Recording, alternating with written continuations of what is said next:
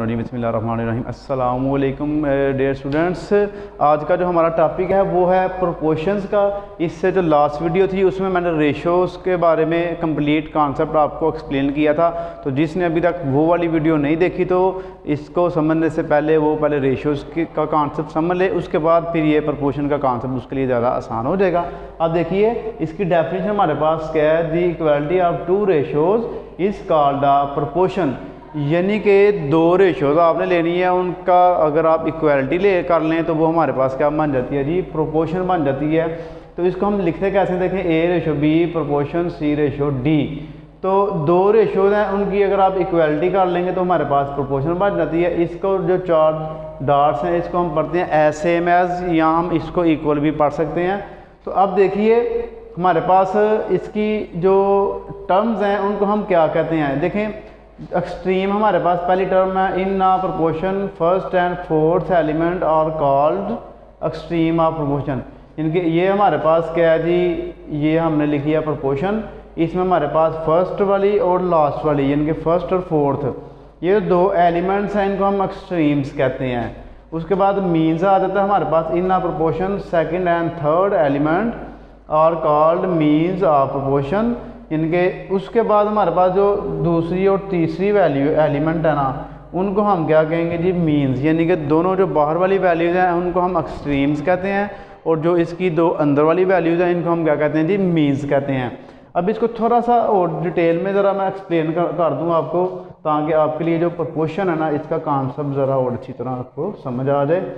तो अब जो रेशो वाली वीडियो थी उसमें मैंने आपको यानी कि कैंडीज़ की एग्जांपल ली थी, यानी कि फादर ने क्या किया था, ये देखिए आप।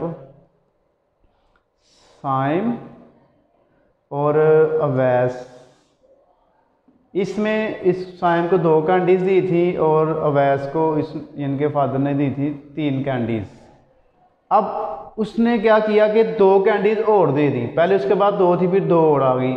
इसके पास तीन है, पहले तो फिर इसको तीन और मिल गई।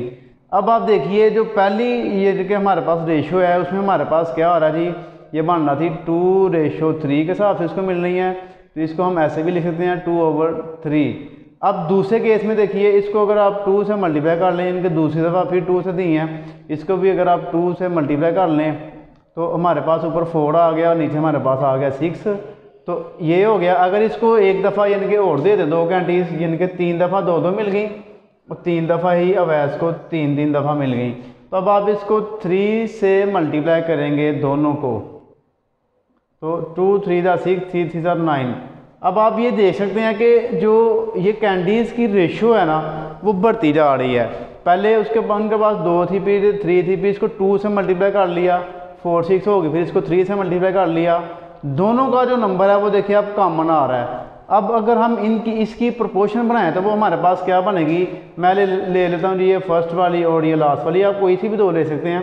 इनके पहला जो पहला जो हमारे पास रेशो बनी है वो ये है टू रेशो थ्री तो इक्वालिटी का सिंबल या प्रोपोर्शन कह लें आप इसको या एस एम एस जो ये है सिक्स रेशो नाइन अब यहाँ पे देखिए हमारे पास बिल्कुल सेम वही एग्जांपल डेफिनेशन के मुताबिक ये बिल्कुल हमारी एग्जांपल फिट हो रही है। जैसे इक्वालिटी ऑफ़ टू रेशोज एक रेशो ये हो गई और एक ही रेशो ये हो गई। इन दोनों की जो इक्वालिटी है, उसको हम क्या कहते हैं? प्रोपोर्शन अगर हम इसको सिंप्लीफाई भी कर लें ना ऐसे तो ये इसके इक्वल ही आएगी। यानी कि इसका ये वाला जो पार्ट है, ये इसके दूसरे पार्ट के ये इक्वल ही होता है। अब आप देख सकते हैं, अगर इसको थ्री से मल्टीप्लाई किया था थ्री पर डिवाइड कर कर दिया जाए ना थ्री टू ज़ार सिक्स और थ्री थ्री ज़ार नाइन तो ये देखें, ये बिल्कुल इसके इक्वल ही आ जाता है। इनके दो रेशोज़ की जो इक्वालिटी है ना, हम उसको क्या कहते हैं जी? प्रोपोर्शंस कहते हैं। जी, उम्मीद करता हूँ आपको इस कॉन्सेप्ट की तरह अच्छी तरह समझ आ गई होगी। तो इन इसी से रिलेटेड नेक्स्ट जो हमारा कॉन्सेप्ट है टाइप्स ऑफ़ जो प्रोपोर्शन है, हम वो पढ़ेंगे। तो तब तक के लिए जजाक अल्लाह हाफिज़।